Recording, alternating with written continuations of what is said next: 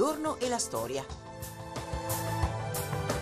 Oggi è il 5 ottobre.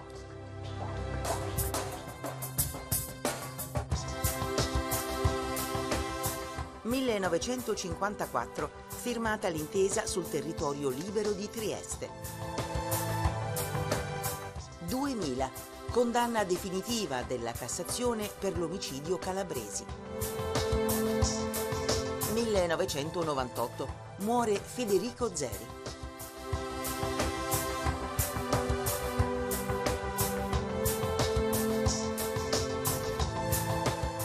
Commenta il fatto del giorno Antonio Rizzolo, direttore di Famiglia Cristiana.